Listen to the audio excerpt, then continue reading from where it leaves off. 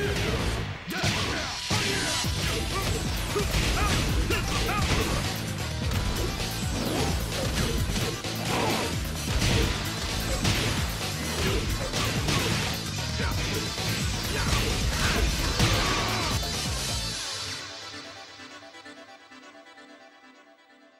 Hey Tekken players, I hope everyone is doing well. So for today's guide I want to talk about how and also why you should consider learning new characters. Just to lay all my cards out on the table and to set out my stall. These are the following characters I've learned to play and I play reasonably regularly in Tekken 7. King, who is my long term main. I then picked up Kazuya to try and learn some more fundamental Tekken skills. I then picked up Paul to see if he actually was as brain dead as people suggested. I then wanted to try an easy mode Mishima, so I picked up Devil Jin. Now having played King and Mishimas, it seemed logical to pick Armor King. And finally, to make this video, plus a few other reasons which I'll get into later, I recently started to learn Negan. I have tried picking up other characters outside of that list, but for various reasons I decided to drop them, which is again something I'll discuss later on in the video.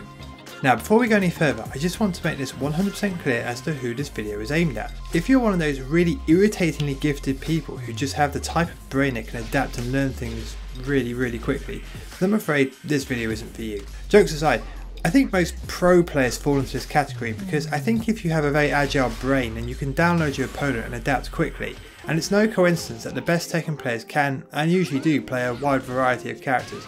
People like Knee, Atif Butt, Arslan Ash, and dare I say it, even the main man.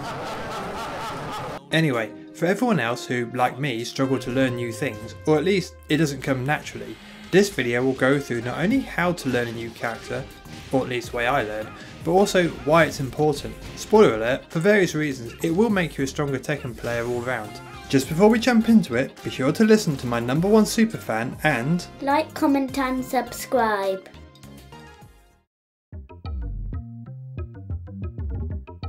So, as always, I like to go into the why and not just the how. So, let's explore why I think it's good to learn more characters. So, the TLDR version is that it will make you a better Tekken player, but rather than skip ahead, let me explain why I think this is the case for the following reasons. So, without wanting to turn this into an amateur psychiatry lesson, but there's some really interesting studies to the side effects of learning a new language. These include general cognitive development such as better memory and better attention span. It can even lead your brain to become physically bigger.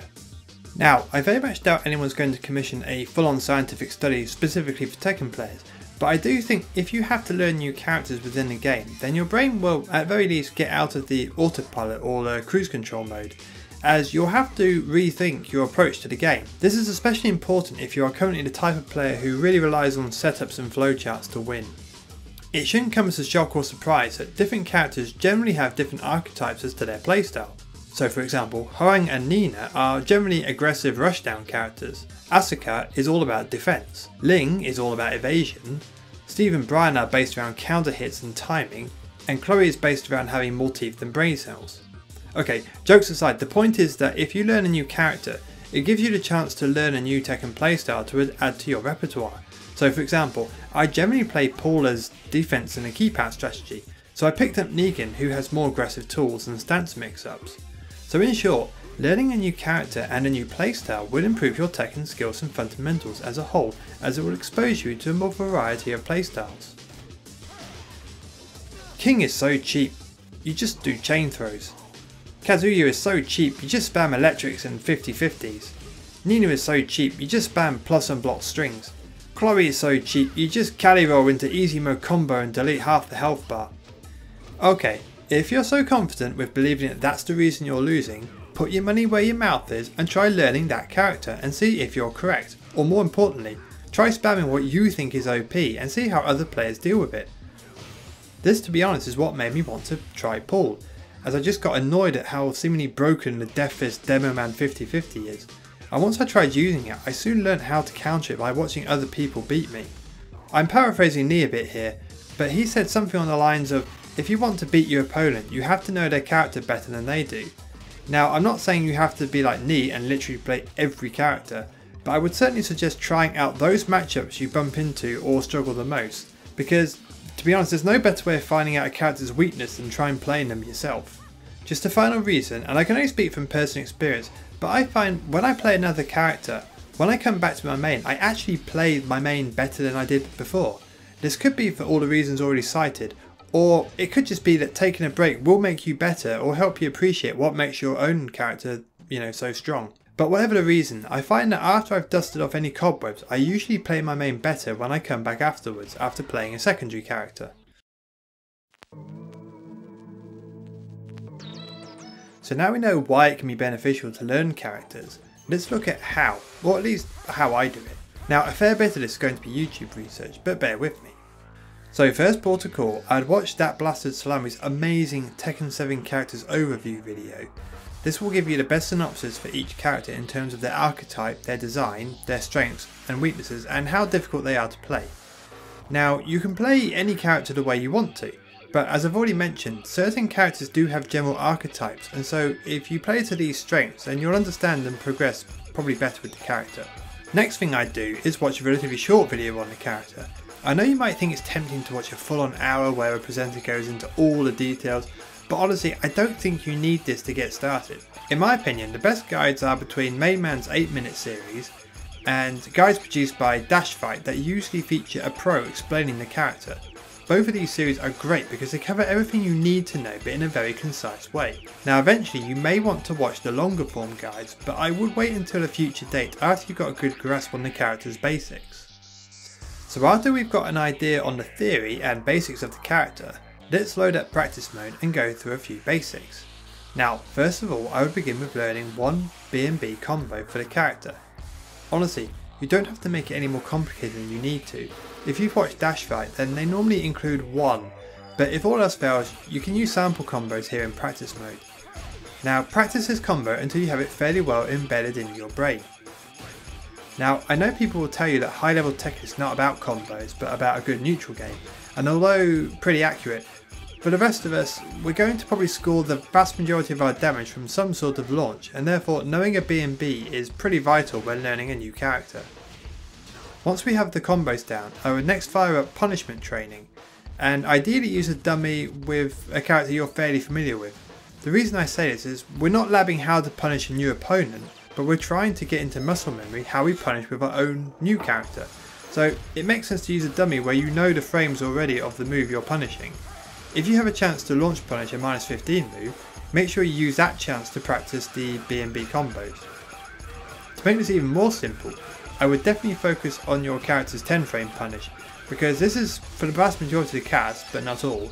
10 frame punishes are safe on block and usually have really good additional properties such as frames, knockdown or Oki. Okay, so after you have your punishment moves dialed and at least one B&B combo, it's time to move online.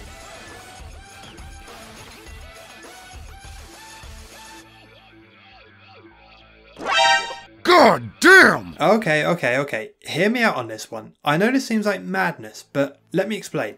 Now, rather than ranked, you may argue it's better to stay offline in, say, Treasure Battle or just player matches if you want to go online. However, I would avoid Treasure Battle because if you play that, you may as well just stick to practice mode because in Treasure Battle, the dummy will almost never block and every hit will be a counter hit, so it's not really going to help you learn that much. When it comes to player matches, I find the matchmaking here is just so inconsistent. You can literally face a first dan one match and then a Tekken God Omega the next. Now there's nothing wrong with that variety if you're playing a character you're familiar with, but when learning a new one, I just don't think it's going to be that helpful. So that leaves good old fashioned ranked. So my top tip here is make sure you're hungry because you're going to be eating a lot of humble pie. And if you're like me, you will at first lose a lot. However, without sounding too zen about this, but honestly it's actually incredibly refreshing to go into ranked and feel no pressure to win and if anything, expect to lose. The reason why I say this is because your character will probably fall down the ranks, but eventually your character will bottom out to the actual skill level that you can play him or her. This will depend on your core tech and fundamentals and the type of character you have already played, but eventually the matchmaking skills will balance out at your own level with your that particular character. So without wanting to offend too many people, I'm just being honest, some characters in this game are so easy that they basically play themselves, and so if you move on to a more honest or hard character, don't expect the transition to be easy. Just for some context, and so hopefully you'll feel better, having played King and ranked him up, I picked up Kazuya for the first time, who at the time was at warrior rank, and I kid you not, he fell all the way down to silvers, and it was a very, very humbling experience. When I then moved to Paul after falling just one rank while I settled in, he basically started climbing immediately and I actually got him higher than my main for a fair bit. So in summary, I suggest you play ranked because after dust has settled, you'll be playing against other characters and players at a similar level to you, and eventually, as you learn your own character, you'll start climbing up the ranks. Final optional step. Once you've started to begin to rank up and you know you want to stick with the character, I would now take a chance to watch longer guides and combo videos and in particular, I would always recommend watching a pro who mains that character. Could be that he or she streams or has a YouTube account, but if you watch how they play the character online, then this will really help you get into all the details of how to play the character. And it's something you could just do whenever you want to take a break from playing Tekken, which is something I'd always recommend you do anyway. Final thing to mention, um, if you start learning a character and for whatever reason you're just not getting on, it could be that a particular combo is just too difficult or you just find that you're just not getting on, there's nothing wrong with then dropping them and trying someone else. I know I've certainly done this. Uh, top of my head, for example, I tried playing Heihachi for a bit, but I just couldn't get into the pickup of his combo. And I've tried Hwoarang, which I did in order to make a guide. And although it was really interesting playing the character, I just didn't have enough time and attention to dedicate to it properly. So, in short, if you feel like you want to drop a character, then feel free. Don't have to stick at it if you're not enjoying it. Thanks all for watching. I hope this helped you understand how and why it's worth learning new characters. I have another video coming soon which is going to be a scrub's guide to sidestepping and sidewalking, so be sure to subscribe if you don't want to miss that one. I'd love to hear back from you regarding how many characters you play, how you learn new characters, and whether you're much better than I am when it comes to learning new things. So let me know in the comment section down below. If this video has helped you, be sure to drop it a like to help the YouTube Witchcraft push it out to more Tekken players. And I'll let my superfan sign off the video. King is the best character. See you next time. Bye.